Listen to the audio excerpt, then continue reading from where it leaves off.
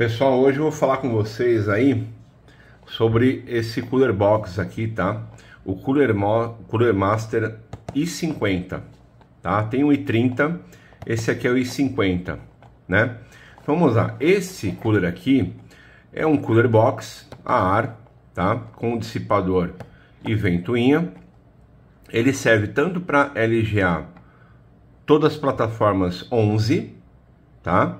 Desde a primeira geração até a, a nona geração, enfim.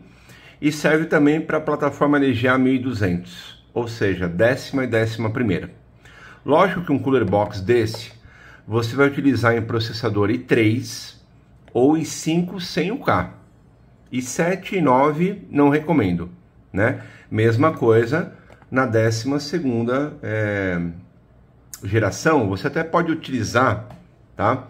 É, aí na, na, na geração é, 10 e 11, você até pode utilizar para mesmo procedimento, i3 ou i5 sem o K né?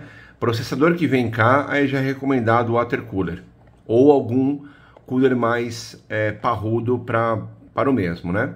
Então, assim, uma excelente combinação, uma excelente escolha para fazer o uso desse air cooler aqui.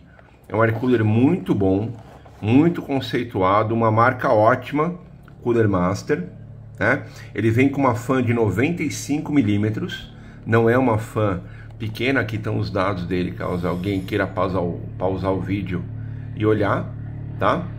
Então assim, muito bom esse cooler, de fácil instalação, onde você coloca um, black, um backplate, né? Na traseira da placa-mãe e ele é parafusado em cima. Então não tem aquela coisa do, do que nem o cooler box da Intel, que você tem que colocar na trava certa, encaixar, desencaixar. Então ele é muito mais prático e ótimo tem um desempenho fantástico. E esse cooler aqui eu consegui comprar no Mercado Livre e por incrível que pareça, ele custou 45 reais.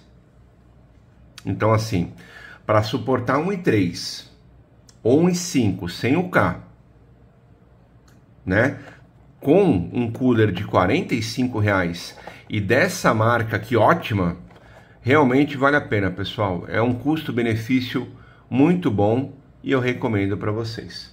E nos vemos no próximo vídeo.